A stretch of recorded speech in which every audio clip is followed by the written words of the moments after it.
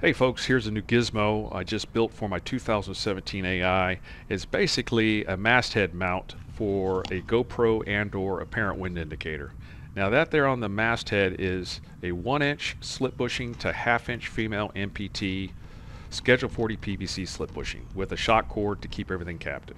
Here in my hand uh, and twisting onto that receiver there is the actual mount made out of a Schedule 40 elbow. That shock cord goes in a groove I carved out. On the other end is a GoPro adapter uh, for GoPros, and on the uh, other end there, the top end there, you'll see a little clip for a Schaefer Marine Little Hawk apparent wind indicator.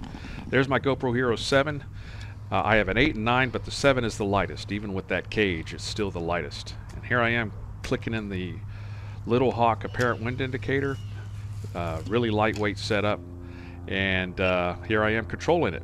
So I'm going to do a test in the backyard to see the perspective of this for the first time. And guys, I got to tell you, I'm really impressed. This is this is a really cool perspective, um, and I think it's really going to be cool going through the surf beyond the breakers. Maybe if I'm landing a fish. Um, it's just a whole new perspective. It's it's solid. It's uh, portable. You unscrew that elbow portion, and everything comes off the mast head. The bushing, the slip bushing remains, and you can still slide it into your bag. Okay, really quick and easy.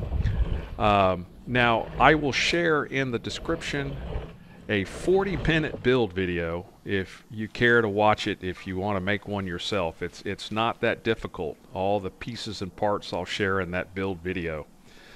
So anyway um, I like this. I thought I would uh, share it with the community. Let me know guys what do you think about this perspective?